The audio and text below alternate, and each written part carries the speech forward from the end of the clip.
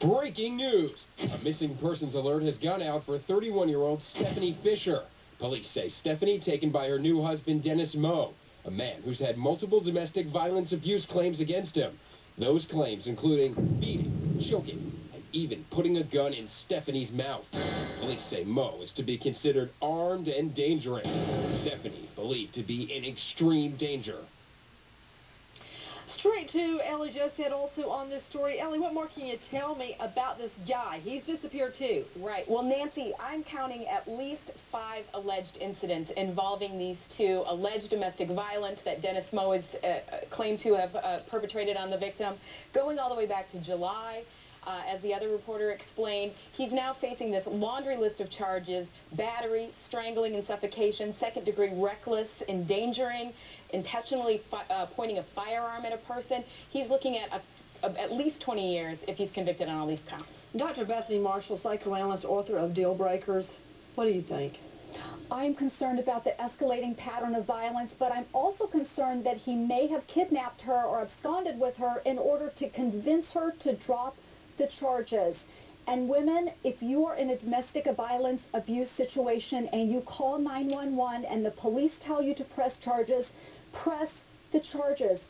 Do not let your husband or boyfriend convince you otherwise. And if there's a TRO, respect the temporary restraining order because the biggest mistake that women make is they feel guilty, they go back. I, am not suspecting that that's the case in this particular situation, but the husband tries to get them to drop the charges, and that's, you know, could be a part of the picture in this in this situation. With me, Dr. Marty Makary, physician and professor. I just have to add in here now, according to what I'm hearing, domestic violence was happening before she married him. I mean, that is something that really needs to be looked into here is why she married this man knowing fully he was abusing her prior to marriage. I mean, I do hope she is found okay, but please, people, if you're in a domestic violent relationship or relationship, don't marry the guy. Get out. Johns Hopkins. Dr. Makary, you know, I remember when I first became a felony prosecutor, and we don't deal with simple batteries or simple simple assault. It's got to be bad by the time it gets to felony court. I remember a woman coming into court with a broken leg and a cast. Her hand was in some kind of a, not a cast, but something else. She's dragging her leg along behind her with the boyfriend, and she wanted to drop charges. You right? yeah.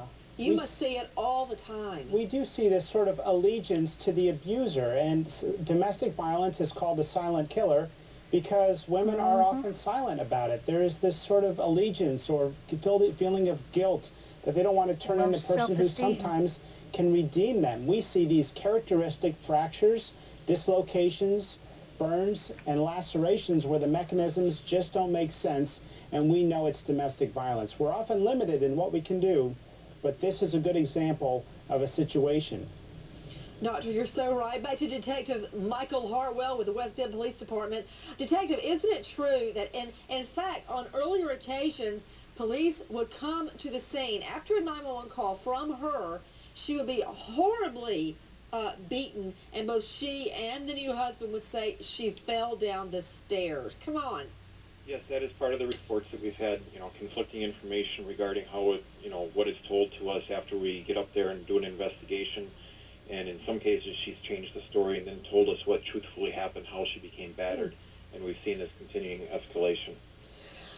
To the lawyer, Susan Moss, Mickey Sherman, Daryl Cohen. Daryl, I don't know if you were prosecuting with me at that time. I think you were already a defense attorney. But when the lady dragged in with a broken leg, I said, to the witness stand. We did not drop the charges. And he ended up pleading guilty, Daryl. I mean, but the problem is if your witness, your victim won't testify, you really don't have a case unless you can make it without the victim.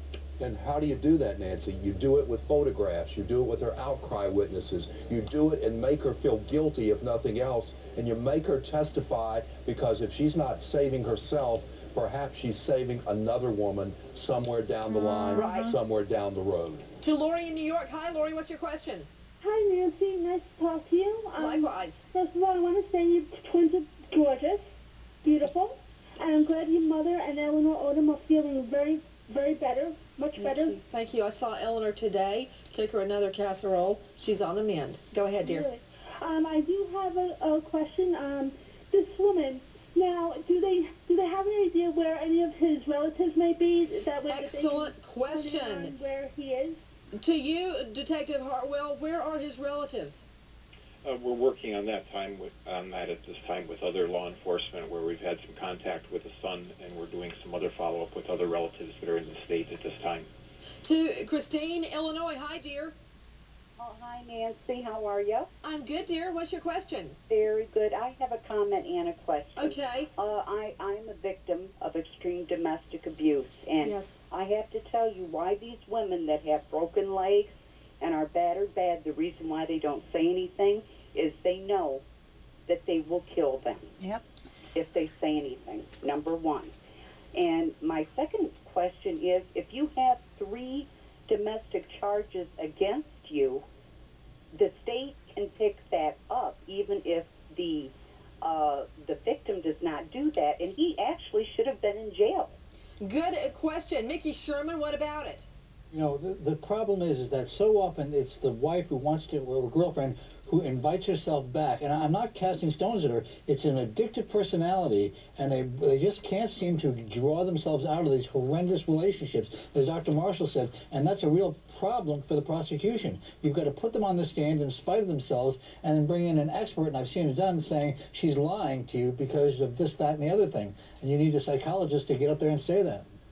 Everyone, we are switching gears and still taking your calls. I want to tell you about a